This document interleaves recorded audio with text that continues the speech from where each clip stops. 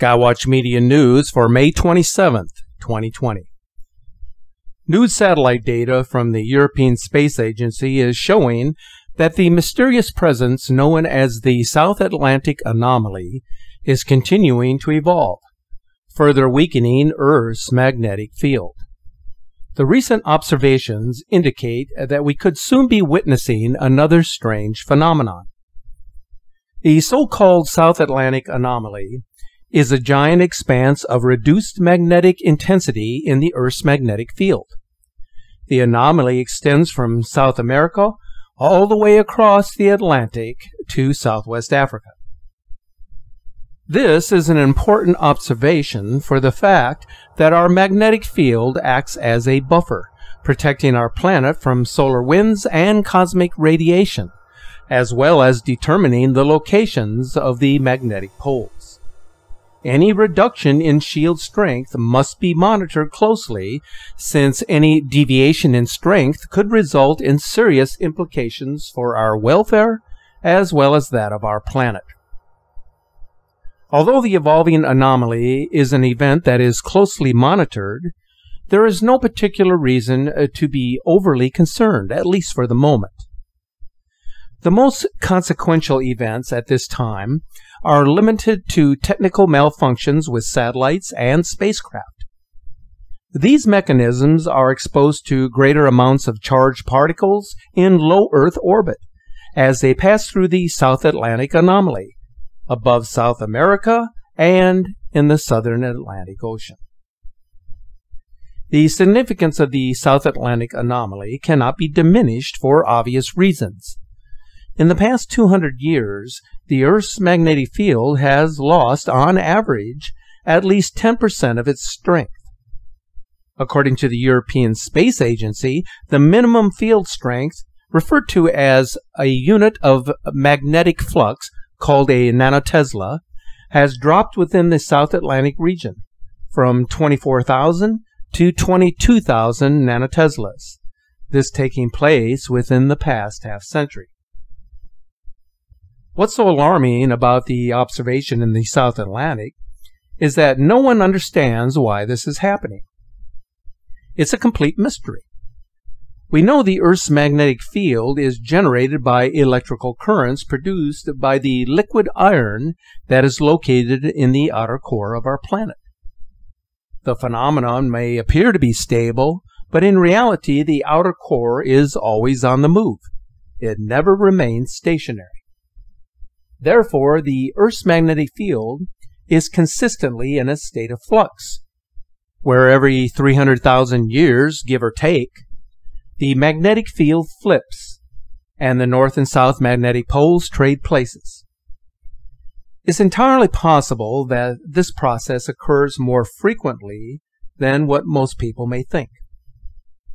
This is why the movement of the Earth's magnetic poles has geophysicists second guessing as to when the next big shift will occur. It's still a mystery as to whether the magnetic reversals are connected to what's currently taking place within the South Atlantic anomaly. It has been suggested that the large reservoir of very dense rock that is located under the continent of Africa may be involved in this process. This region of dense rock is called the African Large Low Shear Velocity Province. Its effect on the reversal process remains unknown. What is quite certain is that the South Atlantic anomaly is on the move. It is evolving. Since the year 1970, the anomaly has been increasing. It is moving towards the west at a pace of 12 miles per year. But here is something even more concerning. New readings provided by the European Space Agency's swarm satellites are showing uh, that in the past five years, a second region of minimum intensity is emerging within the anomaly. This suggests that the entire anomaly could be in the process of splitting into two separate entities. So what we may be looking at is two independent cells.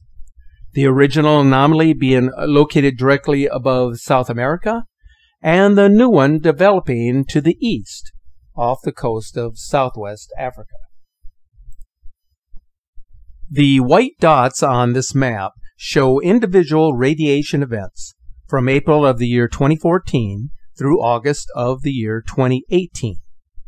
The background displays the magnetic field strength registered by a swarm satellite at an altitude of 279 miles, or 450 kilometers. The phenomenal five year increase in cosmic radiation across the South Atlantic anomaly is seen here.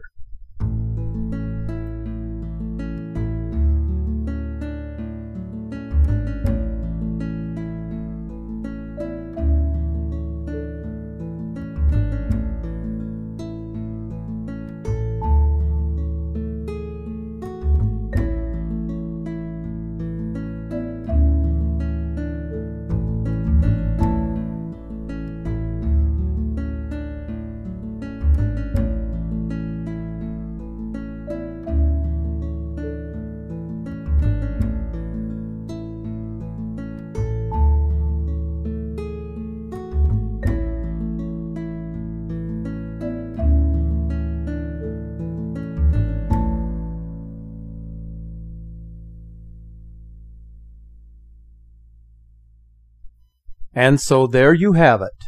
According to geophysicists, a second anomaly in the South Atlantic is rapidly developing.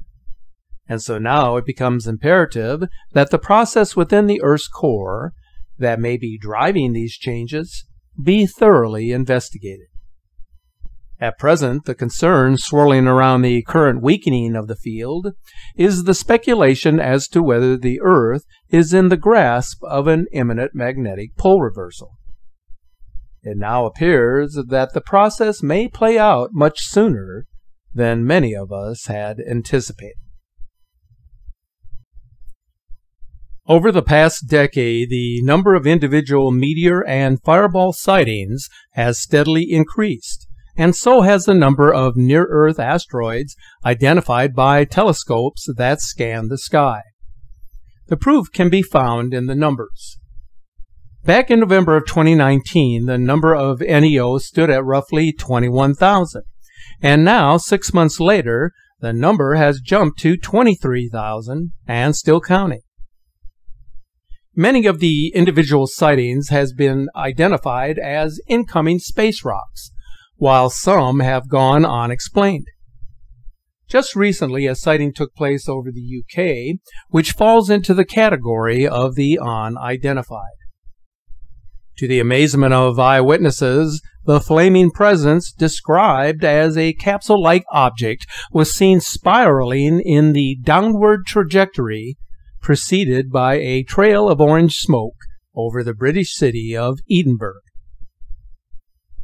The identification of the object as possibly being a meteor was quickly ruled out by eyewitnesses because the object was not moving at a quick pace.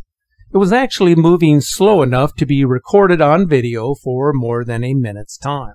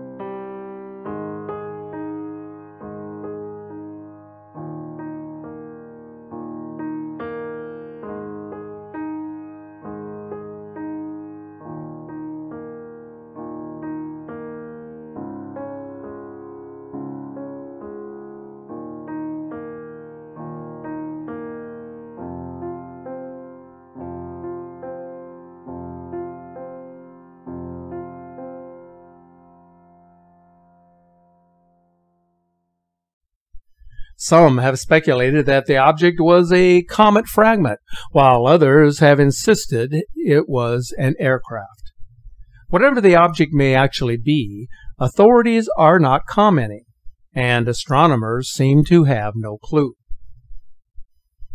As it turns out, this is not the first such sighting to occur in the sky over England. Last month, a similar sighting took place over Cambridgeshire when a burning object was photographed hurtling through the sky for nearly 20 minutes. The American astronomer and planetary scientist Carl Sagan was a great interpreter and communicator of everything related to the cosmos. He best described the universe in his own words. The cosmos is all that is, or was, or ever will be. Our feeblest contemplations of the cosmos stir us. There is a tingling in the spine, a catch in the voice, a faint sensation, as if a distant memory of falling from a height. We know we are approaching the greatest of mysteries. Thanks for watching.